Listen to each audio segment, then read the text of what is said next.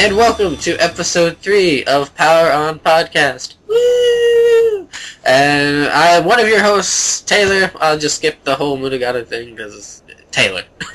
and my co-host, Sushi. How you doing? I'm doing well. How are you doing? I'm doing good. It's uh, uh, uh, it's early in the morning, but it's nice. It's not. I'm not drowsy or anything. And speaking of drowsy, we have our first guest. Please introduce yourself. Hey guys, it's Matt. Basically, a YouTube follower of a lot of people on uh, the gaming community. I don't really have my own YouTube channel, but uh, enjoy playing some games. And as Taylor said, I'm really drowsy, even though it's 6:30 or so here at night. but yeah, no, enjoy playing games and happy to be on the podcast. Thank you for uh, coming on. It's uh, the time difference is a little hard to maneuver around at times, but thankfully we were able to work something out. More fun that way. so, huh. With that being said, I guess uh, the topic for today would be video game items that we like, or items in video games that we like, right? That's it. so, uh, do you think maybe the guest should go first, or maybe? I think that's a good spot? idea. Yeah. So, Matt, please start us. on the spot here. Yeah. Okay. um, so for uh, the first one I had listed here, uh, I think I'm probably tugging a bit on uh, Taylor's coattails because of a recent video he did. I decided to go with uh, Roc's Feather from uh, Zelda Link's Awakening, specifically because it's like the only instance that you get to actually jump around freely as uh, Link. I really, I don't know, I, any game that lets you jump is automatically awesome, and since Zelda usually doesn't have like a predetermined jump item, it's pretty awesome. What do you guys think? I know Taylor likes uh, Link's Awakening, so he probably has something to say. Actually, uh, I had that on my list, but thankfully I have a rather large list, so I can cross that off my list. So, but I yeah, I I really love that first time you were able to jump as Link was just so awesome, and you get the the Roc's Feather so early that I just spent a lot of time jumping on Goombas and dungeons, and you know when you get the dash and you can dash later in the game, you can jump a lot farther and stuff. I just thought that was a really nice mechanic to add to Zelda that they don't kind of keep and abuse because I could see that getting really frustrating in like the 3D films. So and uh, Sushi, what do you what do you have to add? Because I know you like Link's Awakening as well. Yeah, that's one of my favorite Zeldas also, and that was actually the first one on my list as well. So um, thanks for stealing it, Matt. Snap! And I have a much shorter point. list than you. no, I agree. Um, obviously, Zelda 2 ha- w- was the 2D Zelda from the side that did have jumping built into the mechanics, but this was the first top-down Zelda to incorporate jumping, which was really amazing. I remember playing it and being really surprised that that was going to be one of the items in the game. And it, it was nice too because when you jumped on the Goombas instead of stabbing them, they would actually they would always give you hearts. They would always give you hearts. So fantastic. Some of those those side stages were weird because they were all Mario themed. Yeah, because you have the the piranha plants and Goombas and uh, was there? Did they have anything else? Yeah, they had the the thwomp. Oh yeah, the thwomp. That's right. Oh man, That I haven't pretty played in cool. forever. I was going to say, Sushi, you played it. You were playing it recently. When's the last time you played it? Matt. Uh, I played it a couple days ago, but yeah, I've I've kind of put it down. Hmm. And how about how about yourself, Matt? When was the last time you? I have not played it in years. I literally kind of wanted to pick it up again after I watched your video on it, but I- I'll have to find some time. My, so my video failed. It wasn't strong enough to. It was an inspiring. It just it just made me want to go out and listen to the music again. Yeah, awesome music. Tal Tal Heights all the way. Yes, Yep, all the way. So, uh, with that being said, Sushi, do you want me to go? Seems Yeah, you why don't you go next? Okay, I honestly don't remember the English word for it, so hope or the the title for it. So hopefully you can, you guys can remember for me. But Silbird, the the machine that you could use to travel back in time or forward in time in Chrono Trigger, Oh, Epic. Epoch, Epoch or whatever. Yeah, yeah, Epoch, yeah, yeah. Okay, that I like because in the Japanese version it's called Silbird, like silver bird, and they just kind of shoved it together. But Right. so I thought that was awesome. I just being able to kind of go back in time, forward in time, without having to go to the gates, and like, just the whole bit about just about the machine itself, how you get it, leading up to it, and everything was just kind of like it was just really great. I thought. I don't know. How, what do you guys think of think of that, uh, Matt? I guess. Yeah. Um, I, I, I definitely like the idea of time travel, and definitely uh, Chrono Trigger was an innovator in that realm. So the idea of having your own ship, basically, that allows you to uh, go back in time, and even in some cases get different endings depending on if you want to go fight uh, Lavos ahead of time when you're supposed to, so you get a different ending or like whatever. I thought that was very cool as an element of not only like the item but the plot. So definitely a cool item to have. And you, Sushi? Uh, yeah, I agree. I, I think it's one of the, the coolest, um, I guess, machines in, in any game. And uh, just as you said, Matt, that it can play a vital part in the ending of the story, whether you use the machine to crash into Lavos, or if you use whatever the bucket, or what's the third one? I'm not sure. I forget. yeah, I forget. Oh, oh, at the Millennial Fair, you can go through the other time gate. There's so many endings in that game. Yeah, Yeah, it's one of the the few multiple ending games that really I thought nailed it down pretty well. I think because they didn't go so overboard. Yeah, there's a lot of endings, but what is it? Maybe 13 or 14? No, I have no idea. Uh, it's not something such as Star Ocean 2, which supposedly has a hundred or something. I don't know about that. Well, I, I think it's just marginally changed, but I guess 13 specific endings in Chrono Trigger. Hmm. I could be wrong on that number. We'll look it up and we'll, we'll hang you to the fire if you're wrong. All right, well that's that's fair enough. I'm gonna hang Matt for stealing Roc's feathers. So oh, I'm sorry. So, uh, but yeah, that's that's really it, and I'm glad you touched on that point, Sushi, because I, I personally always kind of uh, to avoid the really long battle before it, I always just crashed Silbird into into Lavos. As a big fuck you more than anything. so you didn't care about your item? well, no, like, it, I, like when I, whenever I flew Silbird into like that time period, I would always just fly it instead of using the bucket or something. So, but yeah, I didn't care. fair enough. So, baton pass over to you, Sushi. I'll stick with Chrono Trigger actually. Uh, my favorite item is the the title item, the Chrono Trigger. I think it's one of the most important items, obviously, in the game. I'm sure most people are not going to feel ruined by a spoiler that what happens halfway through, Chrono dies, and if you want to revive him, you need the Chrono Trigger to get him back. You need a clone, you need the Chrono Trigger, and you need to get past Death. Was it Death Peak? Yes. And so it's it's a very important item that you can either choose to use or choose to just abandon. What do you guys think? definitely think uh, as an item that plays a role in saving the main character, and also not even, once again with the multiple endings, you can choose to you know save him or not save him. It's interesting that you, you need multiple items. I don't know if there was a lot of games during that time that you required like to do extensive amount of I guess fetch questing as we call it today to uh, revive your uh, hero. What do you think, Taylor? The I liked it, except for the part where you had to uh, mimic the the clown or whatever. That I, for some reason, always kind of I, I was terrible at it, so I was always like really like antsy during that part. But the only thing that kind of weakens it for me, I guess, is a scene from Chrono Cross. If you've played Chrono Cross, Hmm. Are we talking about the scene where you get to see the characters who trigger, or uh, which scene are you talking about? Well, where where uh, Lynx comes out and says it that you are the the Chrono Trigger or something like Oh, really really. okay. I Uh, always thought that was Really? really corny. so I, I, re- I'm sorry. I really like Chrono Cross. I might be in the uh, few minority of this, but I really like it. I like the game. It's just that scene to me just kind of really I thought was kind of I don't know. just for it, ru- ruined the moment for you. Yes, and so whenever I think of the item of Chrono Trigger, I think more of Chrono Cross, and I think more of that scene in particular. So I kind of always have this. Ah, I like the game, but I don't know how I feel about this. You have a nasty taste in your mouth. yeah.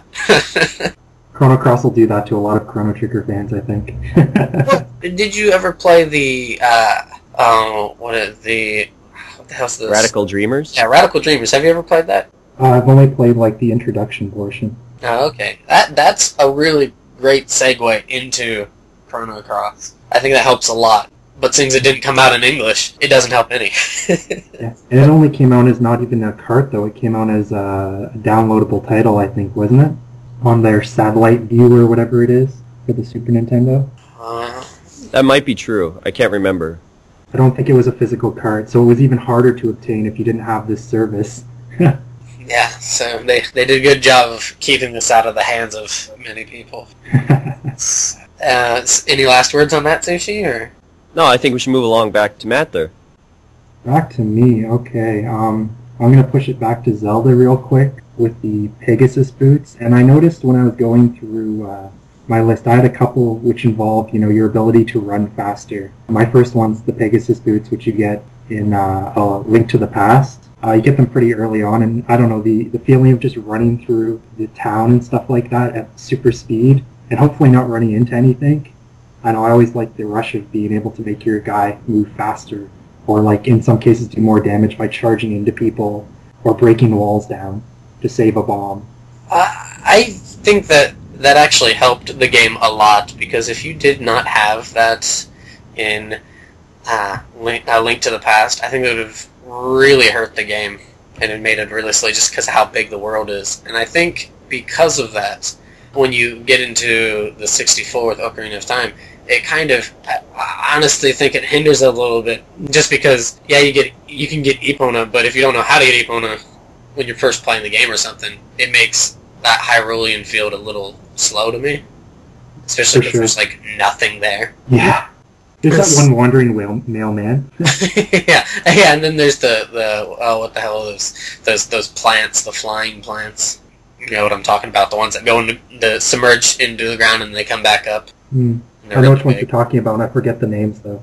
Yeah, they have some sort of name, but uh, and I, I don't know. I wish they would have had a dash function, and I know it would have been kind of difficult to pull off, but I wish they would have had carried that on earlier in the when they went into the 3D realm with Nintendo, ah, the Nintendo 64. So, uh, sushi. Yeah, I like the Pegasus boots, uh, especially in Link's Awakening, just because they allow you to jump so much further with Roc's Feather. I think that's pretty cool. Yeah, But- combination there. Yeah, yeah. That was one of the things that Link's Awakening did that the other Zeldas hadn't really done at that point was being able to put items together, I guess. Yeah, because you have your A and your B, and you get to combine the two. Right. But yeah, that's all I got for that. Fair enough. Carrying on with your uh, picking up speed or making your character move faster, I wanted to actually, even though I completely segued wrong in that, making your character move more freely, I guess. Uh, the spring jump from Mega Man Legends. I was going to say this the skates, but then I changed to the spring jump, so that's why I thought that. But the spring jumps for Mega Man Legends, because being able to jump onto buildings and accessing a whole new level of the game that you were not able to get to earlier on, I thought that was really cool. so, Uh, Sushi, I what do haven't you played? Legends actually, so What I- is I- wrong with you? A, a lot, actually, a lot. No, I, I've just never got around to playing them. Um, yeah, I, I remember seeing them when they were first released and stuff, but I just, uh, you know, I wasn't didn't have a lot of money, I guess, to pick them up at the time. I'm not really sure why. Soulless. Uh, Yeah, So, how about you, Matt? I want I want to stay really quiet because I was a, a Mega Man and Mega Man X kid growing up, not so much Legends. So uh, I'm also in that boat. I, I have them, but I haven't played them yet. Well, that's worse Yeah. than me, even then. Yeah. well, t- t- Taylor knows how I am. We're both the yeah. same way. It's, so I understand. Play the damn games. Ah, oh. So I yeah, will, I will. spring jump. You get the spring jump, and you can it like doubles or something along that lines your jump, and so you'll be going through the the I think it's the town's called Kattelox. I know the island's called Kattelox Island, but I think the town is too. Maybe I hope, and you have you know two story buildings and stuff that you can actually with the spring jump jump onto and stuff and it's just really cool to be able to traverse the city on top of the building and stuff kind of like batman or something like that but very cartoonish so Sounds pretty cool. yeah it was really fun so i, I really like it you know it brings back nice warm memories so uh, sushi On to you. Uh, sure. I've chosen the spread gun from the Contra series. Oh, excellent. I think that thing is pretty vital. If if you want to be a good Contra player, you really have to know where the spread gun is, pretty much on every stage, and how to use it properly. I think a lot of players when they first play Contra, they get the spread gun, but they don't know that it's it's almost more of a defensive weapon in a way, especially the early part of the series where a lot of the the enemies will just kind of randomly run out and jump at you. You really need to be mindful of how to time the spread gun properly so that you don't waste it and that it only shoots the small cluster of bullets instead of the big wide spread that it can get. It's just an awesome weapon too and just so so useful. Have you I don't know, you guys played Contra or I I love Contra, but I haven't played it. Like I only played up to Alien Wars, so Okay, so 3. right. And I, oh, I I always remember having fights with people about who got the spread weapon, who got the spread shot. Well, the better player always got the spread gun. right. Well, yeah. Well, well, the thing was is that it wasn't always the better player I was arguing with. It was more of kind of like you, you get my my brother or some Yeah. friends that honestly weren't that good, and they'd be like, ah, I gotta have the spread gun, and then they'd And then die they like. die after and I'm stuck they holding start the laser. lives. Yes. Yeah, exactly. And I'm stuck holding the stealing laser. Lives in that. So. Yeah. How about you, Matt?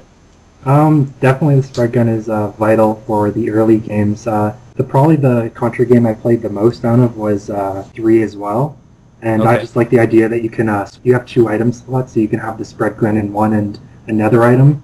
Yeah. Um, so it, and it, I think it was a bit more kind about giving two spread guns or so per level, so each person could get one. Right. Um, but I definitely like the idea of getting to hold two items. I, I'm trying to remember another item I really liked in that game. Um, besides the spread gun, I think there was homing rockets, which were really good. right. Those were um, good. And the the laser wasn't too good because it was only good for close range, if I recall. And I, I remember playing a bit of four, which was on the DS, and Yeah. that one that one's a real pain because you have to uh, manage two screens. It's pretty tough. Yeah, I, I think I played it with a friend who's like really good with it, but if you play with somebody who's not good at it, you're gonna get your continues all taken away. Right. Right. I actually got so good at four that I um I could beat it without continuing, and I think I'd finish the game with 20 lives or something without any cheats or anything. I was getting really really good at four, but it took me over a year and a half or something to get really good at it.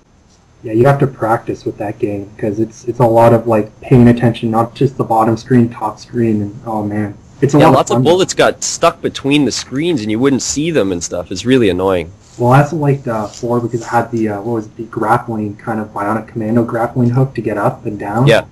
which was I, I thought really cool as well. Yeah, it was pretty cool. Really useful. Mm. All right, why don't we uh, continue off of Contra there? How about uh, you again, Matt? Um, sort of a, a series that uh, spawned, I guess, from Contra. I'm going way down in my list, but uh, Metal Slug. Uh, Nice. specifically Metal Slug 2 with uh, the flamethrower because uh, I really liked uh, there's the, the zombie levels and the mummy levels and what have you and just burning those uh, zombies and uh, mummies with the flamethrower was so satisfying in that game. Everything was really satisfying. All the all the weapons were, but specifically the flamethrower, seeing people like running away on fire and stuff like that was very very satisfying to me at least. Um, how about uh, you, Sushi, since you really peaked up with uh, Metal Slug? Yeah, I really like Metal Slug too, and you're right. The flamethrower on those zombies is pretty awesome. I do remember there was the flame shot in the first game, but I don't remember if the guys would would kind of combust into flames as they did in the second game. Uh, the, it- they might have. I, I don't remember, but the flame shot is really really good. I really like the shotgun too because the guys just explode and their bones kind of fly everywhere. Metal Slug's just crazy. Yeah, it's Awesome. really fun. The anthologies on on the PS2 and the Wii are, are really great collections. Mm, On PSP also as well. PSP, yeah. Yeah, I've got the PSP one as well. Honestly, I've never played a Metal Slug game. Wow. It's just there's so many of them, and you know they're pretty abundant in pretty much every arcade. There's probably one version of it. So Yeah. but I'm not an arcade person. Well, It's not that I'm not an arcade person. It's just Fair, fair enough. I, I, a like growing up, I didn't go to arcades, and nowadays I don't really go to arcades either. Like I like rhythm games, but I don't know. I just never really. It's not that I have anything against it, but I just never really got into to playing it. So Home versions are a lot better usually, just because you can keep dying and you don't have to put in money. Well, I, I found when I got uh, when I actually played the home versions of Metal Slug, it, it wasn't as satisfying because you know when you play it in the arcade, you're really tense, but you're a little Yeah. more sloppy in the uh, the uh, home versions because like you don't really care because you have infinite lives. yeah, yeah. You got to turn it into a drinking game with a buddy, and then and then it gets really fun. Well, the the game is meant to take your quarters, but it's so Yeah. satisfying as- and fun that it's you know you don't even mind. For sure. Okay, so how about we pass it back to Taylor here? Okay, uh, let's see. I have a list here. I'm thinking of a good one. Ah, here we go. Ah, something so basic and so necessary in our daily or day-to-day living. That is food from Oh, I thought- Gauntlet. I thought you were going to say toilet paper. Oh, I'm sorry. Uh, nah, I was going uh, food in Gauntlet. Now, I don't know if either of you played the old Gauntlet games on the regular Nintendo, but I loved playing both one and two, and hearing the uh, the little narrator or whatever say like the warrior is about to die, and then going and you hear that da dun da dun da dun. Elf needs food. Elf needs food badly, or, or or the uh, when you shoot the food too. Oh god, that was so that was so just depressing when you'd hear it like uh, the the narrator say the warrior shot the food, and you're like, no, damn it, warrior. So uh, I, the food is so pivotal in that game just because it increases your time limit, but it's uh, it's just so. When you see like a room full of food, you're like, yes, God, yes. So I don't know, sushi. What, what, what do you have to say about that? Yeah, I didn't really play a lot of the old, old Gauntlet games. The one I got into a lot was Gauntlet Legends, which was at first an arcade game as well. Uh, really fun game, but I, I didn't really play the old ones. I can't remember if, if Legends would complain about. I'm sure it did. I'm sure it said, you know, Warrior needs food or or whoever needs food, but I, I don't remember that well.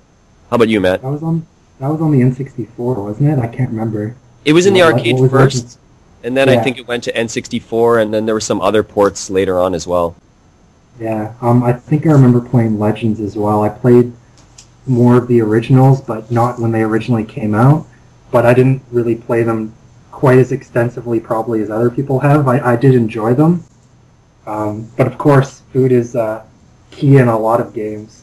So Sure. it's definitely a good choice. Absolutely. Thank you. I'm sorry I couldn't add more to the uh, the metal slug bit there. Um, That's okay. Wait, that's sad. It's all good. Food, food is delicious. What can you say? Yeah. sad. Toilet paper is essential, though. Ah, you Oh, can use true. leaves, I guess. I actually can't think of any games where you can get toilet paper. I'm sure there are a bunch, but there probably is. I don't remember. Anyways, Yeah. Any, any, anywho, moving on. Uh, sushi. What, what, what do you have?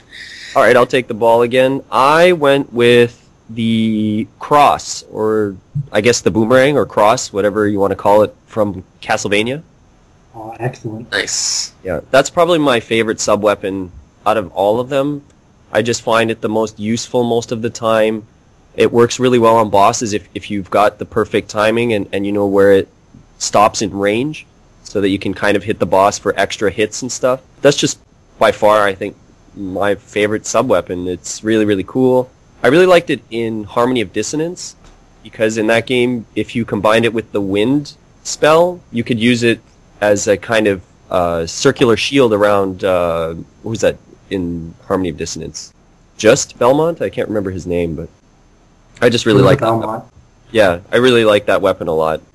I don't know if you guys chose that one as well, or Um, I guess I'll take the reins here. Uh, I, I was trying to think of a sub weapon from Castlevania. I didn't end up putting a sub weapon on specifically because the the cross is excellent because you know it has the straightforward and it comes back, so it, it has two hits as you were saying. And then if you have you know the the two block or the three block, you can throw multiple, so it's it's devastating. right? Um, I like the axe because it has the arc, so you can hit the uh, the enemies above. right. So I like that one as well. And uh, uh, in the first game, or at least the NES games, the uh, what was it? The holy water was essential because of uh, the, the graphical lagging it would cause. So you could get multiple hits off and freeze the enemies. so I, I wanted I wanted to pick the uh, holy water. I didn't end up putting any of them on because I liked them all almost between those three. But Okay. I, I understand the uh, the cross was really good, and I also like the uh, the item crash uh, for the cross. I think in, oh yeah, uh, yeah, that thing's the- cool. The PC Engine one where a bunch of crosses come up Right, and you get a giant cross behind you. So yeah, it's really good. Are we at least you, in agreement about the knife being pretty crappy then? Yeah, I hate the knife. The, the knife is terrible. Uh, I, I'm surprised you kind of like the axe, uh, Matt. Just because I, other than the in the orig- the first Castlevania with the Bat Boss, I don't know of any others that it's really good against. It's good against Dracula. Is it? especially in three because Dracula's got those moving platforms in three where he's in his final form. The axe is by far the best weapon. Yeah. You have to Oh, hit his head, don't you? Yeah, you do. Uh, I didn't. Hmm. Honestly, I never got uh, far enough in three. I was terrible at three. I love three, but I'm not very good at it. Three's a tough one. So, uh, I I always liked the cross because the cross was great against uh, death. Yeah, especially first-. Oh god, that like going up to death was a pain in the tail, and then finally getting to him, and then him throwing those sights around and stuff. Oh, I I, I think I mm, raged a lot during during that time. So the cross became yeah yeah the cross became it became a savior for me. Mm. All right, why don't we move on back to Taylor? I guess then. Is it back to me already? I think so. Yeah. Or uh, uh, Matt? Is it Matt? Is it Matt? you? Sorry, I you're, forget You're jumping on an order, but that's, Skipping that's the- Going to me. Oh, apologies. you- you're wanting me to go. The ice wand, and I know you kind of tried to stick away from like the main weapon for people, sushi, but the it, this isn't really kind of a weapon. Eh, in a way it is, but the ice wand from the ga- puzzle game Fire and Ice. I've never even heard of that. I'm just being dead serious. Fire and ice. What is that? It just sounds like a bad wrestling tag team or something. it's a puzzle game where you try to put out flames by creating blocks of ice. Okay. And the thing is, is that when you cast, when you make the block of ice, it's not uh, directly horizontal. It's off. It's down a block. It's uh, at a like an at an angle Okay. down. And so what you try to do is you try to create blocks of ice and then make the, certain blocks of ice disappear to push singular blocks of ice into flames. And it's a puzzle game. I think I'd have to see this video to really get the concept. Have you played this, Matt? No. I think this is a game that Taylor made by himself. It's not. I swear to God, it's not. It's an it's an NES puzzle game, and it's got really good music too. I really like the music for it. And if you run into the flames, or if you fall into a flame or something, you have to restart the level, and you just try to you just try to put out all the bad flames, because it's like some sort. It's Iceland, or it's it's some sort of ice or there's- snow kind of. There's good flames and bad flames? No, there's only bad flames really. There's There's, there's, only no, bad Yeah. So When you say ice and puzzle and NES, the only game I can think of is Kickle Cubicle. I don't know what that is. Yeah, That- that was also a puzzle too. game. Yeah, that's an obscure one. But I remember a kid having that game, and I when I finally found it, I had to rush out and buy it. That's a really fun puzzle game too. Huh, I see. All right, well, I guess no, no comments on that. We've never even heard of that game, so Oh, well, I'll. I'll hold you to your word. It better exist. Yeah, it does exist. I swear to God Almighty. I will show you links after, afterward. I, I, swear, All right. I swear. it's a game. I expect it. All right, all right. How about you, Matt? um. Okay. Uh. I'll I'll stay on uh, Castlevania. Uh. I'll I'll name off two here. One Sure. is from uh, Order of Ecclesia on the DS. Uh. They have a lot of glyphs in that game, and specifically, you get uh this flying glyph at the very end of the game. I had to look up what it was called. I don't even know if I'm going to say it right, but uh, the Vola Ticus glyph or something like that. Um, it basically allows you to sprout wings on your back and you can fly around freely. So I, I thought I really like that item just because you know it allows you to fly around and they kind of keep it to the very end where you like you've already explored almost everything. So it, it's it almost feels somewhat pointless, because there's probably a couple secrets you can find with it. But I really like you know the idea you can fly around and you get it in a nice open area. Um, have any of you play you played uh, Order of Ecclesia? Uh, I have it, and I I mean I opened it, but I started playing something else. So I, I forget why. I was I was gonna replay all the DS titles in, in order and then play that finally, but I, I just played the first 15 minutes or something of it. Hmm. I personally, I for some reason I can't get into the DS games. Hmm. Uh, I don't know what it is. I've played Portrait of Ruin, but that's the only one I've been able to actually play and beat. The other, one- and I don't know why. it's just uh, for some reason it just doesn't. I don't enjoy it as much as I like the older ones. I, I like the original platformers, but of uh, all the uh, different uh, Metroidvania or whatever you want to call them, uh, Castlevania games, I really like Order of Ecclesia. You, you could give it a try because it's kind of removed from all the other. It doesn't have like a, a story or a game you have to play before it to get into it. And the glyph system where you basically suck out glyphs from uh, monsters that you kill is, is a lot of fun. So you get a lot of things you can combine glyphs and stuff. So it's pretty fun. Um, the other one is a, a little more retro uh, with the Vampire Killer Whip, but specifically the one from uh, Super Castlevania 4 where you get the uh, directional whipping. Yes. direct in all directions, or you can let it hang and like you know let your whip like flap around a bit. It's, it's a little strange, but it's it's. I know I know you, you found that funny, but uh, it's it's it's an awesome whip. It's probably the best one, and I don't know why they didn't continue to use it in some of the following installments. That's my favorite Castlevania game, actually, by far. Even I love the music. I love the platforming segments in that. I love that, as you said, the whip can go in eight directions or can be kind of skipped around as a shield almost. Mm. Uh, it's just great bosses, just a great retooling of, I guess, the first game. Just an awesome, awesome game. I like uh, four too. Uh, did, did anybody else find the final boss a little easy though? Yeah, most of the game is actually relatively easy, but Okay, uh, as long as I'm not crazy, because I, I really thought that that one was no, 'cause easy. I think I think you're right. Dracula has two forms in that only, and that Mhm. it's really quite straightforward. There's there's a couple hard stages in the game, but overall it's not too hard. But Yeah. there's a couple long there's a couple stages where there's a long stretch in between save points. So if you die, you have to keep redoing it. So it depends, I guess. You know, those older games were on memorization and reflexes. to Yeah, I complete agree. Them.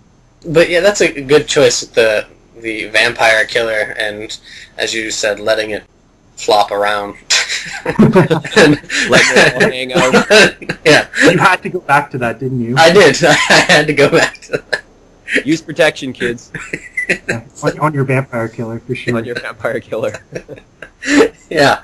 So, but uh, yeah, I, I thought adding that mechanic of being able to go in eight different directions, or you know, kind of just flop it around. And now I can't think of any other word for it now. I, I usually say skipping the whip. It, it's kind of as if you were skipping it. It just kind of, but it just kind of hangs there, and then you can kind of. it goes limp. Uh, uh, yes, Viagra for whips. yes. Well, that's what all the other Belmonts use. Apparently, Simon in that game didn't know anything about Viagra. I guess not. You- I guess you forgot. So, uh, is it on to you now, Sushi? Uh, sure.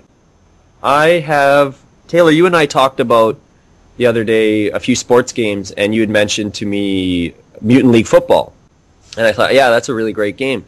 And I think I had countered back to you with Mutant League Hockey, and Mutant League Hockey has one of the kind of coolest weapons I guess you can get is people randomly throw stuff on the ice for the players to pick up and use as weapons against each other. And there's a chainsaw in that game, and the chainsaw is really, really useful and really helpful for killing off all of your opponents in, in the game. And basically, if your centerman gets it, he can stand at uh, the face-off circle and basically keep bashing the other centerman until he dies. And you can continually do this if you can keep getting face-offs or just kill all the other team team's players, and they'll just automatically forfeit the game. You don't even have to score any goals, and you just can keep winning like that. It's really, really funny. Really fun with two players, actually. So the chainsaw. I don't know if you guys have played that game or not. But Unfortunately, I was a Super Nintendo kid, and I believe that was only on the Genesis, wasn't it? Both those games. yeah, both of them were only on the Genesis. Yeah, so I never got to play them, but I know exactly the game you're talking about. It does look like a lot of fun. Yeah, I don't know why they EA's never bothered to remake that series at all. It seems it would be fairly easy to just take their their hockey or football engines and just change hmm. some of the player models, but I don't know, maybe they don't think there's demand. They should do some Madden DLC for that. That'd be really funny, actually. It'd be, people would probably buy it. I'm sure people would. I think it'd be hilarious. Yeah, it'd be awesome. Punching guys' heads off and stuff. I was gonna say I, I played Mutant League football, but I didn't get to play hockey, and I think it's just because being from Ohio, it's a bit more focused. I would say on football than hockey. Right. Ohio State.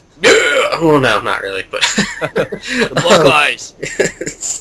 Stop that. I have enough family that hurts for them, sorry. So.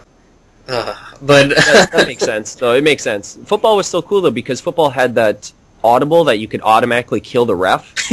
yeah. that was pretty awesome. And there was the exploding, the exploding ball. You could throw it and, and it would explode as soon as it touched any player. So there's still a couple of funny things in the football. Football was fun. Uh, yeah, so, so unfortunately I haven't got to play hockey. Which one would you say would be more fun? Or is it kind of just, uh, Um, I think the, the hockey is, is more fun. It's a little more freewheeling, and on generally hockey games, I've always found that people that don't play video games can get into a hockey game a lot easier than other sports games, just because you don't really have to know what you're doing except for pass and shoot, basically, and maybe body check. It's a little straightforward. Yeah, much more straightforward than than something such as Madden, where you've got to pick the play and you've got to watch where the players are running and you've got to know the routes, or it's it's a lot more complicated. Hmm. Okay. I see. But that's enough about Mutant League. Uh, let's go back to. I think I kind of manipulated the circle there, didn't I? Yes, Why don't you did. guys choose between you for for who's next? Battles of the Death! That's what that. I, I don't pick really an item. Pick an item, and let's see who whose item's better. Okay, well, um, Kill who? let's see. Uh, you want me to go first then?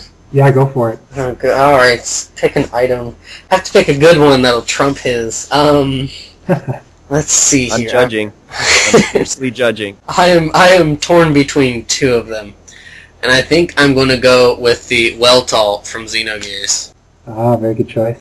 So I, uh, uh, Xenogears is definitely one of my favorite games, just in general. I, I know some people don't like it too much, too much text or too yeah, too much text and all that sort of thing. But I don't know the the the story and having Weltall kind of evolve through the story and how it gets so much more awesome and so how it's so much more powerful and stuff. I always like, thought that was great and how it connects with Fei is just a really really nice yeah and it's Dynamic? black. Yeah dynamic that's a good word for it and it's Oh, yeah. black and it smashes things and yeah And let's see Yeah. the counterpoint from Matt. Counterpoint. Hmm, I, I'm kind of torn between two as well.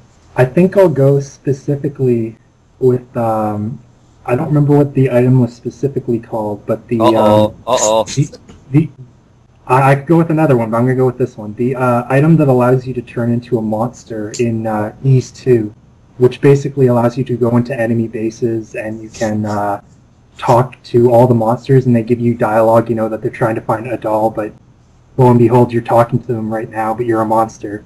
Um, so it allows you literally at any point in the game to turn into this monster, and you can talk to all the monsters. They won't attack you, and they'll have unique dialogue. So it's kind of funny to see the opposite end of, uh, you know, what the bad guys are thinking, I guess, or the enemies that you're killing, because they all have their own unique per- personality. So I always found that really funny with the monster transformation. I don't know if it's like a ring or a magic spell or a staff or something like that. I just really like that in Ys 2. So what do you think, Sushi?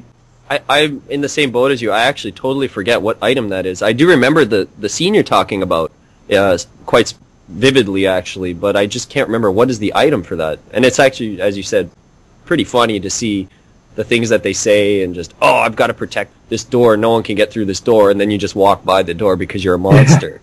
Yeah.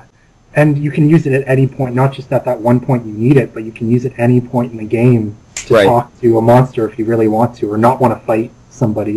It's Yeah, for sure. funny. I'm guessing Taylor knows this since he's a big Ys fan. so- Honestly, I don't like two. Oh. I, I, because of that scene, I really like. I like two up to a point, but when you get turned into a monster and you have to go through the temple and everything and get back out, that really wore on me. Really? I, I yeah, I did not like that. Like two, like I love, I love two's opening. Like 2's Mhm. opening is probably my favorite opening, but when I get once I get to that point playing it, I get really just not. It, it just I don't like it so much once it gets to that, and I, I just I don't know what it is. Something about it when I was playing it just really irked me. Well, And I'm I- the judge here. So I like Xenogears, but I'm going with Matt. No, that's fine. That's fine. That's that's a good No, choice. Uh, so I mean, whatever. It's, it's just really interesting to hear you didn't care for that part very much. Oh yeah, I, I it, it aggravated me to no end. like Ys, Ys is aggravating at times, though. It's it's really hard to figure out some of the puzzles Hmm, for sure. without cheating at, at points. It's it's a pretty tough game. Both I've only played one and two specifically, but they're pretty tough. hmm Now, I've played most of them that have been released uh, in English, um, but that that point always kind of stuck out to me. It's something you know, it's it's so out there. Like, there's not many games that allow you to just talk to every monster in the the the game and give you unique dialogue back. Right. So it's pretty amusing. But we didn't get to really touch on uh, Taylor's uh, Xenogears point.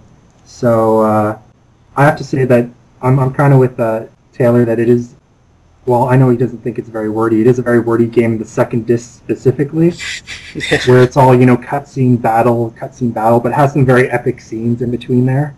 Um, as for the actual mechs, like, you can't really go wrong with uh, going from, uh, you know, fighting as like a person to actually fighting as a giant mech and you can you know get in and out of it whenever you want and you upgrade it and you know become more powerful as you go on so it's pretty awesome what about you sushi Yeah, that's a pretty good one. I haven't played Xenogears in a long time, and I've only played a fair portion of the first disc. I actually I moved away from home at that point, so I, I had to put it down, and I, and I haven't been able to pick it up. I do have it on PSN again, and I just I bought it. I was really excited when it came out, and I just haven't been able to find the proper time, I guess, to get my mind into it, and to know that I can actually sit down and play the game without big interruptions of playing it for five hours and then not playing it for two weeks for some reason. But I will get back into it. it's a story that you definitely want to you know be focused in on you can't take breaks or else you might get lost with some of the dialogue and stuff like that Yeah, that's how it seems. So As I say, playing through it multiple times, which I know would be a chore to do, but when you play through it once and then you play through it again, you'll pick up on certain nuances in the throughout the game that you completely miss out on the first time you play. And you're like, sure. why didn't I notice this before? So, yeah yeah, yeah. so uh, Sushi, did you have anything left that you? I have a couple here still. Sure, I have the shotgun and the BFG from Doom. nice. Awesome I really awesome. love the, the shotgun. Was really really fun to play. It's it's just great. I love shooting those banshees, those banshee skull heads that fly at you and they scream and then you just shoot them and they explode. Mhm. I really like that that shotgun a lot. And the BFG is is got that really cool weird charge sound that it would make before it would fire and things would just vaporize across the screen. big green beam or whatever i think yeah, yeah. How about uh, you, Taylor? Uh, something. Oh, yeah, I figured that you might have uh, mentioned earlier was the E tank from the Mega Man series. Oh yeah, forgot about that actually. Really? So I don't know. I th- those those came in handy. I'm so good I don't need e tanks. well, I I am not. So I Yeah. had. you're not shy to the concept of an e-tank Uh, yeah, I'm o- I'm okay with using e tanks just because I don't play them enough. Nor I guess I have enough gaming skill to not use them. So Now, didn't they add the M tank after that as well, which filled up all your weapons or something and your health? yeah Yeah, that one's really good. That's a really good one. so okay, uh, Matt. Um, going on with Mega Man some more. Uh, Mega Man X3, when you finally get to use uh, Zero Sword, basically. Um, I really like because throughout the entire Mega Man X series, you're kind of like, you know, I really wish I could use Zero Sword. And then finally in X3, they, they let you, you know, use it as like, you know, part of your charge. Um, I thought that was really awesome. What about you guys? I haven't played X3 actually, so Okay. Did I you play like any of the X's? I've played. I love X1 is is one of my favorite games probably ever. Probably, Mhm. well, debatably my favorite ec- uh, Mega Man game too. So Mm. And Taylor? I, I've played it. It's been a long time. Isn't it in three you switch between? You you can call in zero. You, you can call in zero, but at the initial point of the game, you get to finally use uh, the sword, I believe, as a. It's like the final charge shot almost. Mhm. glowing green. So I always thought that was really awesome because you know when I was playing it as a kid, I always like you know see zero. I'm like I really wish I could use the sword. So I always thought it was awesome in X3 they let you do that. Um, and then I guess I'll I have one more Mega Man one here, uh, which is the um, in Mega Man 6 you get to use the uh, power suit or whatever, where it's basically the Rush power suit, and you get to fly. I really like I really like getting to fly and charge up and shoot your fists out. I thought that was really fun. What about you, Taylor? You got a laugh out of that. Well, I I love that just because I like how he turned red and uh and how like the the punch. Hmm. I love the the punch attack too from with the armor and stuff and flying. Though it was kind of brief, it was. I'd like that extra bit of security blanket when it comes to jumping, especially in Mega Man games. Yeah, definitely. And sushi? uh, I actually managed to miss the second arc of Mega Man games when they were initially released. So Hmm. four, five, and six were just beyond what I'd played. I'd only played two and three specifically. I know what you guys are talking about. I just haven't played six at all. Fair enough. So Taylor, any more on your list? I have a, a bit more, and I'll just kind of rattle them off. But Sure. before I forget, the the thing you were thinking of for Ys Two, if I remember correctly, it's a spell called Transform. Oh, okay. I want to say it's something basic like that. Yeah. so, I, if I, I, wanna think, I was thinking it was something like that too. so yeah, if memory serves me right. So um, that being said, first thing up, uh, I have on the list Calorie Mate from Metal Gear Solid slash The Real World. So honestly, that's kind of what got me into eating Calorie Mate was from playing Metal Gear Solid. Are you still alive? Yes, It's keeping you alive. Okay. it's keeping me alive. he's got a he's got a calorie mate IV hooked up to him right now, slowly dripping into his veins. what what flavor do you drip into your vein, Taylor? Maple. Maple. Okay. So we could we could put a tap in you and, and, and tap you out of maple. Yes. Get some maple syrup out of you. So yeah. um, that uh, the next thing I put, I put on here was Fire Emblem from the the Fire Emblem series, and throughout the the series, it takes on different uh, it's it's different things throughout the game, and I I, I honestly really really like how it, it it changes in each game. You know, you have like the shield and stuff like that, and even though in Sacred Stones it was more like kind of like that kind of thing, and they don't really mention Fire Emblem, but how it changes, and even though it's this cool mystical thing, you don't get it sometimes. Uh, but I really liked it. Thought it was cool. I don't know. What, what do you guys think of the Fire Emblem? I don't even remember getting the fire emblem. I Ah, haven't played. I haven't Neither played do I. many Uh, of them. I, I've only played the the two Game Boy games and then the remake on DS. So in the in the first one, Marth gets it, and it's it, it helps his character not be so crappy. In the, in the original, in the original slash the Super Nintendo or Super Famicom remakes, I, like, oh, okay. he's pretty buffed in the, the DS one, but it, it was it was really nice to have. So, um, the six books of Ys. hmm Sure. So that was that was one that I had on here. The box from Terra Terranigma. I've never played Terra Terranigma. No, well, it never made it out of. Uh, out, it made it in Japan and PAL, but it never made it to North America. Matt, did Right. you ever play it? Um, I, I'm looking at hopefully getting a, a reproduction of it eventually, but I haven't played it yet. Okay, I've played well, some of the other games. uh, like uh, Soul Blazer and Illusion of Gaia. Yeah, I have those too. uh, not a big fan of Illusion of Gaia for some reason. It stumped me as a kid. It, it made me. It made you cry. It made me. so Man tears. baby man tears. But uh, uh, but yeah, it was just really cool, kind of like hopping into the box and being able to like, equip things and use your items and stuff that way. A little slow for a menu for that kind of game, I think, but I don't think it was breaking in any way. So uh, the I, w- I I would say the the mithril sword from Final Fantasy One just because once you bought that, it was almost like uh, a sense of accomplishment because it cost so much in the original Final Fantasy game. And so, eh, and when you finally get it for your warrior, if you have one, it makes the job so much easier, and it leads to finally getting out of the uh, intro area and being able to explore more of the world. So, I'm, I'm getting there. I'm getting there. Uh, Monado from Xenoblade. I'm not gonna really touch too much because Xenoblade's finally been announced for North America region. Yay! So, Yeah, Ah. don't spoil it yet. spoilers. It's awesome. Um. so uh, when you down the road, it just I, I thought it was really cool and what they do with it. Uh, the gate, the initial gate from Star Ocean Two that sends Claude to Dana's planet. Very sweet. So and sings Star Ocean Two is w- one of my favorite games, and I, I, it sings it's the whole start of the story. I thought that was really cool. So. Um, Princess's Peach question mark question mark question mark from Super Mario RPG because I totally thought that was a brawl. Do you remember? No, I don't. No. I only remember. I only remember the uh, was it the frying pan you get for her, which is her best weapon. Well, this isn't something for her. It's when you're like scouring through her drawer or her like oh yeah, yeah, yeah. Okay. find the Ah, princess's question mark question mark question mark. or freely under things. yeah. As a kid, I always thought it was like her brawl or something. I always giggled. It's like, ah, Mario's a pervert. So.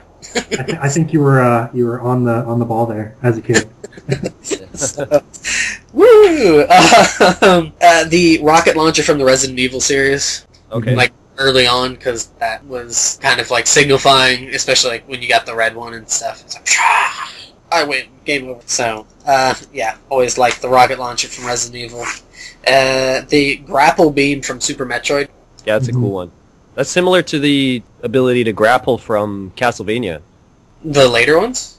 In Well, in four, where Castlevania get 4, how you could swing Oh, it. with the whip. oh, Sorry, right, I right, didn't right. clarify, but it was kind of similar to that. Right, and well, the the main reason was because you could kill the uh, third boss. The what what is it? The the I don't remember his name. The water boss that would grab you and then like whip you with its tw- tail. You could use the grapple beam on the the sides of the, the the little panels that you blew off that had electrical currents, and you could just drain his HP that way. Mhm. Have the grapple on it. Did did did you guys ever do that? No. I don't think I did either. Okay, that was how I beat the boss the first time because I was getting so frustrated because it was whooping my ass so much, and then I was just getting angry and just kind of you know when you get angry instead of like throwing it you just start like yeah and you just start mashing buttons, and out of sheer luck.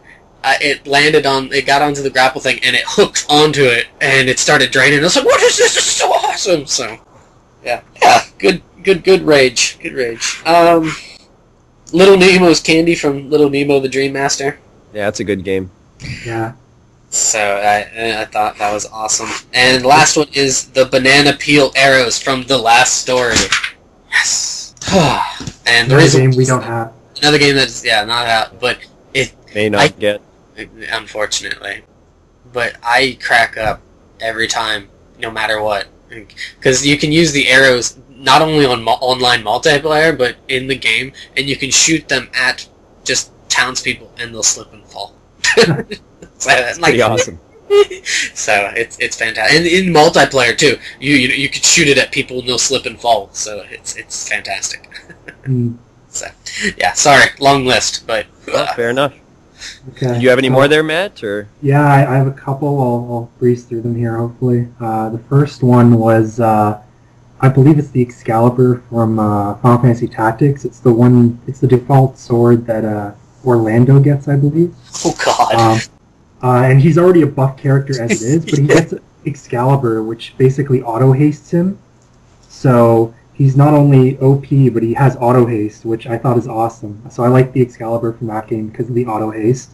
I liked uh, the Tanuki suit from uh, Mario 3, the one that allows Nice. you to turn into a stone. Yeah. Uh, specifically, not the one that makes you fly, because I think they're separate, but I think they're both called the Tanuki suit, um, if I remember correctly. Because I, I always remember when I was lo- young, I never knew how to turn into stone. And then when I finally figured it out, there was a, a sense of accomplishment, even though it's kind of useless. Uh, what else here? The home run bat from uh, Smash Bros. I really like that just because uh, you can either throw it and automatically knock somebody out, or you know, if you're really good with it, you can smash people out, constantly or get two people, so it's a very satisfying weapon. Let's see. Any kind of uh, this this one's a little broad, but uh, any kind of armor that's you know multi-pieced armor where you have to get different sets. So like in Dragon Quest uh, Eight or something like that, where you had to get the bunny suit, you had to get different uh, like the ears, you had to get the tail and the the actual suit to get to make it uh, all one item. So I like stuff like that, or just uh, armor in general. It changes appearance of characters. Um, I really like that stuff. Um, any item, any kind of return item for dungeon crawlers that allow you to go back to town. Yeah. So uh, th- those are key, um, especially for uh, like uh, Etrian Odyssey or even the original Dragon Quest when you need to return back to your save point. Those, are, those are lifesavers. Um, uh, Metroid, uh, the speed booster, the thing that lets you run really fast in Super Metroid. Because you remember if you used to be able to stop and you could launch yourself when you were growing, glowing yellow. So I always thought that was cool. Um, and two more here. The Ghosts and Goblins, the dagger. yes. The specifically in Super Ghosts and Goblins for the Super Nintendo, where you get the green armor and then they become laser beam daggers. I always really got a kick out of that. And uh, last was the smokes from Metal Gear Solid. Just uh, it seems almost useless until you get to that one point where you have to see the lasers. So it's pretty awesome. Don't ask Like where you hit little- him. Yeah. So any any any of those I rattled off real quickly that you want to go off on, or uh, Uh, I'll I'll quickly jump in for the the ghouls and ghosts. Uh, I agree. I, the knives are really really helpful, and just because of their speed and because you can throw three, it, it's incredibly easy to use them, and they're so much better than pretty much every other weapon in the game. yeah, basically, and and as I said, the uh, laser daggers are just awesome. Right. Yeah, they're really really fast, and they add that extra the power boost on them, so they're really cool. And then with the gold armor, you get that flame dragon type spell. Yeah. Which Mhm. if you know how to use it properly is actually really useful. It's hard to time it correctly. Yeah, it's, it's funny how we said uh, the the daggers or the lances in Castlevania were basically useless. Yet you know, Yeah. ghosts and goblins they're they're super useful. You need them basically. I guess uh, make mention of the. You made mention of the home run bat. That one is. I, I really like that, that item as well. Um, though I don't. Other than throwing it, I never try to do the. I never. I never attempts to hit people like with the the the, the swing. Yeah, Just you 'cause- just threw it right away. Oh yeah, I always just throw it right away. I just grab it and just throw it because, uh, yeah, that's I'm j I I well because usually I like to pick uh, slower, heavier characters hmm that pack a punch. So, um, so basically any sort of really big character, like especially in Brawl, I like Ike. So uh, the home run bat really isn't as needed as much for me. Uh, well, you have those charge attacks that almost do the same thing. Right. yeah. So that's it. it. The the bat is a good way of making his slow attacks a little bit quicker. Mm. So but that, that was that was quite a nice list. The smokes honorable mention for this one. so Cool. Yeah, that's it. all right. Uh, Sushi, did you have anything else, or did you want to get? I have two or three just really really quick ones as well. Okay. I, I really enjoy the ice beam from Metroid. Just the Mhm. fact that it lets you build platforms off of monsters was pretty cool. Mhm. Um, the other ones were in Bomberman, the max flame power, the, the kind of gold flame power up that gives you the flame that goes across the screen for your bombs. hmm That was really helpful. And finally, Rambi the Rhino from Donkey Kong Country. I love that Oh. effect of him running and just those guys going ah when you hit them and they just go flying. I, I love that that first stage and getting that is just awesome. Mm. So awesome. But yeah, that's it. Um, just to go off on your Bomberman, I, I love the uh, versus Bomberman against people. Um, the the max power, but like combining all these items together just makes for like a crazy match match, especially if you're spamming. Right. Um, I always try to go for uh, what was it? I, I for some reason I like getting the poison because I like affecting, uh, you know, running around and affecting Yeah, everybody else. You know, screw them over basically. It's so much fun for some reason. Especially if you're Um, losing. Yeah, especially if you don't have any power ups, you just see a skull, you grab it, and you start infecting everyone else. um, and I also like you know all the uh, all the pets and stuff like the uh, the kangaroos you can get. Right. So it's it's just a fun game overall for power ups. That's fun when you're invincible too, and if you can catch a bomb and you can keep bombing as as you're invincible, and Mm. the trail is following you around as, as you're bombing un, until invincibility finishes. But that's a good way to get people trapped and, and really angry too. You you get the guy who has the uh, full flame, as you said, and then you get a poison uh, that makes you drop bombs on your own. Yeah. Leads to uh, fast devastation. Nobody wins. Uh, I guess uh, one that I'll point out is uh, you mentioned the ice beam, and actually I had that written down at first, but then I switched it to the grapple beam uh, just because of remembering fighting that boss and stuff. Because the ice beam was really, really awesome. Yeah, So- it's a really cool item. All right, well, what do you guys say we move into a game then? Time for the game. Sounds exciting. Yeah, I don't think this is too hard a, a challenge today, or I, I hope not, anyways. I hear a big groan and a. uh. I would say I make it hard on myself. So yeah, I think you do actually. You- you're, you're too concerned about winning, I I must win. but I haven't been able to quite put these at random yet, so I decided to choose this particular game that I hope is not too hard. But I decided to go with games that start with the letter B. I just decided B, if that's cool with you guys. Is somebody getting paper out? What is this? Yeah, I, I heard some paper ruffling there. It's not me. No, I I moved my book. Okay, Sorry. whatever wha- whatever you No say. typing. Better not hear no typing in the background. Taylor is disqualified. No, I was moving my book because I have the, Yeah. the paper with the, the list of uh, the items, and I was Alright. moving so I could sit in my on my couch and not on my floor. Oh, that just sounds lazy. Laying on your couch, really taking this game seriously. Yeah, I'm sitting on my couch now. I heard it was hurting on sitting on the floor. I'm getting all. All right, all right. So is that okay with you guys? Games that start with the letter B. Sounds exciting. Sounds like I'm going to fail real quick. well, why don't you go Sounds- first then, Taylor, so you can at least get one in. All right, uh, Bionic Commando. Nice. Uh, how about Matt next? Bomberman? Cool. I will go with Blaster Master. Okay, and then I'll go Bubble Bobble. Hmm. Brave Fencer Musashi. Nice. Braid. Braid? Braid. Oh, okay. Indie game. Hmm. Um, Balloon Fight. Uh, baseball stars. Hmm. Good. Bad dudes. Uh, Nice, nice. That's a good one. Eh, beat 'em and eat 'em. Aw. Aw. Um. Oh man. Is he losing it already? Oh no. I'm not.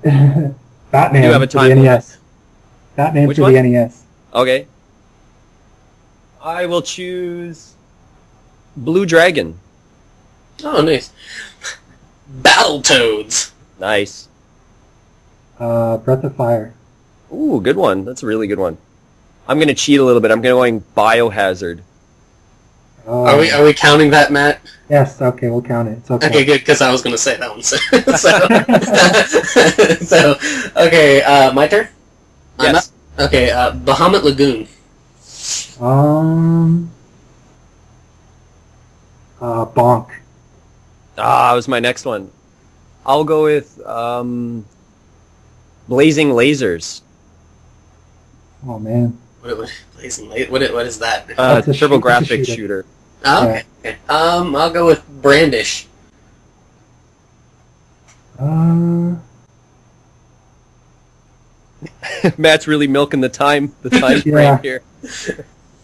Oh my god. I'm terrible at this. That's all right. I'm, ha- I'm just you helping you, Taylor. If you think you're done, you can call yourself out. So Um. Yeah, I'll, I'll knock myself out here. all right. Er, Oh, you still early got some good ones in. So is it my go then? Uh, I believe so. All right, BlazBlue. Oh, that's a good one. I didn't Oh. think about that one. Uh, is Beetlejuice a game? I think there's an NES one, yeah. Woo! Okay. Brigandine. Oh yeah, this is this is probably it for me. Um, Dear God, Sushi's gonna mop the floor with us here. Yeah. Um. um some people already said Bomberman, right? Yeah, Yeah, I think first one. Bomberman was right at the start. Ah, okay. Uh, I think I'm gonna have to tap myself out. No. I don't know, maybe. Like I, I, Uh, I, what I got in was a lot more than what I thought I would get in. yeah, no, we did pretty well though. I, my next one was going to be um, Bangai-O. I don't know what that is at all. That's uh, Dreamcast and uh, what else? Ton I think it's on ton- Xbox Live now.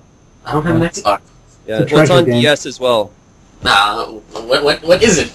It's a it's a treasure kind of shooter puzzle game. Yeah, It's hard to explain. You'd have to kind of see a video of it. Basically, you're kind of this little robot, and you're you've got weapons that have to be used to finish stages that are puzzle stages. And it's a pretty fun game. Really challenging. it's pretty unique as well. Yeah, yeah. You can just shoot gigantic spreads of missiles across the screen and stuff, and it's pretty cool. Let's see. All right, well, we still got in some good ones. We got in Battletoads, Bomberman, Blaster Master, a lot of old NES titles. I like how Beetlejuice somehow came up. That's the only thing I had left. As you Back to the see. future. Back to the future. Ah, God Oh my damn God. it! Brandish. I said Brandish. Oh, yeah, Brandish was brought up. Yeah, Yeah, I did say Brandish. I kicked myself. I'm sure every game ends and it's a bunch of games come to your mind after. It always happens. I don't Uh, that, that, uh, that's tapping the well for me. I don't really. B is an uncommon one. Yeah, B's not that common actually, but I had Bonanza Bros. I don't know. Bonanza Bros. Ah, that really weird two-player game from the Genesis era. I don't know how to explain it. It's some sort of Sega thief, game. thief game or something. I don't know.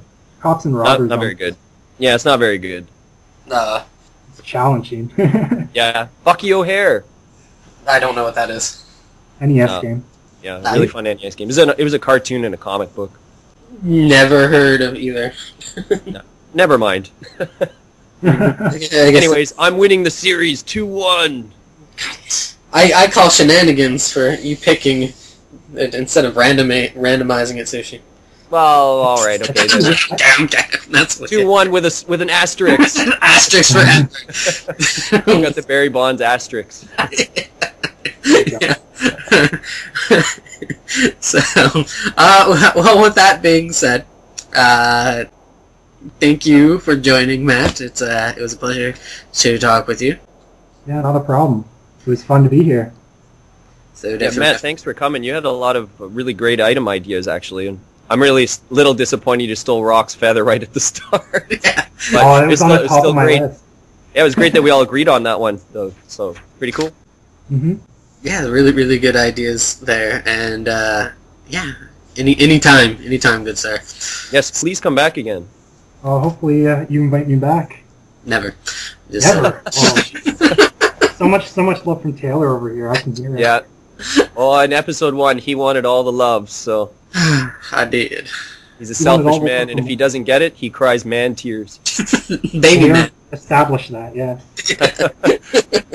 You found his secret. You found him out. so, Back to the rabbit hole with you. yep, yep, yep. Uh, that being said, uh, thank you, Sushi. Uh, we, I know we said that we are going to stop doing this, but Yes, it's time to stop. it's time to stop. All right, then. Yeah, it's time to stop. Uh, all right. Well, uh, any any last words on Sushi? Just stay tuned for the next episode. We have to come up with a topic, but I'm sure we will. Yeah, we have we have a topic. We swear we, we have a pile of topics to choose from. So stay tuned. I don't. Su- sushi sounds pretty uh, unsure about that. No, No, we, we do, we do. we do, we do. We just haven't chosen a particular topic yet. So, Fair enough.